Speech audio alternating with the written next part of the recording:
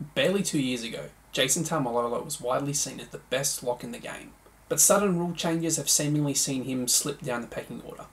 Former Brisbane Broncos forward Corey Parker has called for the North Queensland Cowboys to dump their club captain and highest paid player. But should the Cowboys really be cutting ties with one of their most potent attacking weapons, or do they need to restructure their attack? Let's go back to 2020, and in that year, Jason Taumalolo averaged 207 running metres per game. That was his career best. That put him in third across the competition behind James Tedesco and Roger Tuivasa-Sheck, who, as fullbacks, get the benefit of kick returns. Taumalolo was the only forward in the top 10. In fact, you have to drop down to 12th place to find James Fisher Harris, the next best forward, and he averaged 179 metres per game. But this is nothing new. In 2019, Taumalolo occupied the same position with 196.6 metres. Payne Haas was in fifth with 185.2 metres. And they were the only two forwards inside the top 10. We've known how good Taumalolo is for a long time. You have to go back to 2015 to find him sitting outside the top 10 for average running metres per game. Now, when Taumalolo debuted back in 2010, teams were trending towards workhorses and meter readers to play at lock. They made their tackles and took hit ups, there were some outliers there. Parramatta had Feleti Mateo, who wasn't known for his work rate or his thirst for hit ups, and Manly had Glenn Stewart, who was a very noted ball player. But when you look across squads and see Michael Luck at the Warriors, Chris Heighington at the Tigers, Ashley Harrison at the Titans, David Stagg for the Bulldogs, Corey Parker for Brisbane, and Shaun Fensom at Canberra, and well, you get the idea. And just quickly, the Bulldogs under Des Hasler ripped teams apart with ball playing forwards but they were an exception to the norm and were ultimately unable to win a premiership with that style of play. Ball playing locks were outliers and fast becoming obsolete due to teams prioritising control of the ruck.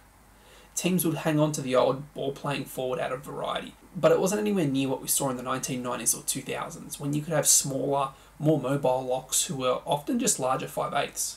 You had players like Brett Kenny, Brad Fittler, Braithen Astor, Laurie Daley, and Daniel Wagon who all wore the number 13. They weren't packing into the front row occasionally like many modern locks could and still do. In 2020, the NRL issued its now infamous 6 again rule changes.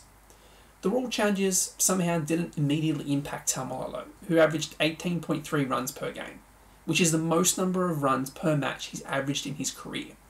He wasn't averaging any extra minutes each match. His 61 minutes per game were the same as 2019 and fewer than 2018, 2017, and 2014.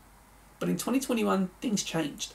He went from more than 200 metres per game to just 155 metres per game. His average number of runs dropped to 14.5, a total drop of nearly 4 runs per match, and his minutes dropped to 59, the first time he'd been below 60 since 2016.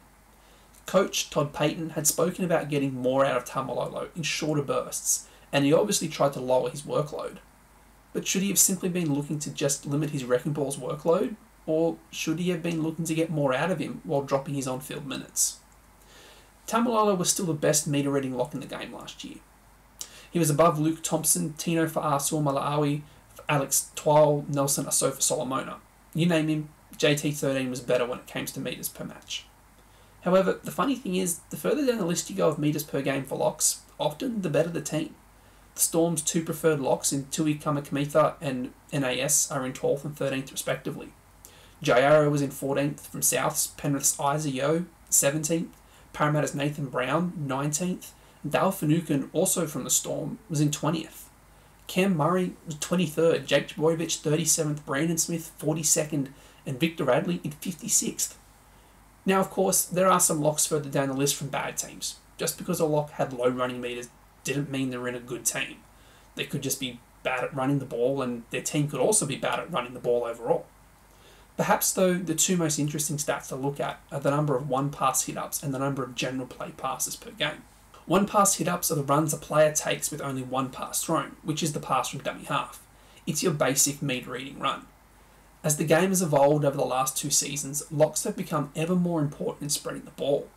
Victor Radley topped the charts with 24 passes per game, followed by Jake Trbojevic with 15, Isaah with 14, Josh Jackson with 12, Nathan Brown with 10, and Cam Murray with 9. Taumalolo came in at 19th with 4 passes per game. Going back to that list of locks I just read out, and you can now get a look at their numbers of one pass hit ups per game. Radley had four, Trbojevic had seven, Yeo seven, Jackson seven, Brown eight, and Murray eight. Taumalolo averaged 10. That put him equal first for one pass hit ups alongside Luke Thompson and Pat Carrigan. Although Thompson and Carrigan were even greater ball hogs, only passing the ball twice per game. So where does this leave Taumalolo? Well, getting rid of him is a dead set stupid idea. He still averaged 9 metres per run last year and will carry the ball for more than 8 metres per hit up 10 times every game. Meterage is still incredibly important in the game these days, and there isn't another Cowboys player in cooey of Taumalolo's running numbers. To move him on would be detrimental to their ability to get up the field. The Cowboys have two options. They could shift Taumalolo into the front row. His game more than suited that.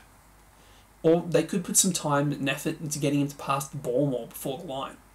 He doesn't have to turn into a ball player extraordinaire but his current passing numbers put him 16th amongst props, let alone locks. Taumalolo is always going to attract defenders. He's simply too big to ignore. But the Cowboys have to get better at exploiting the gaps he opens in the defensive line by getting him to pass.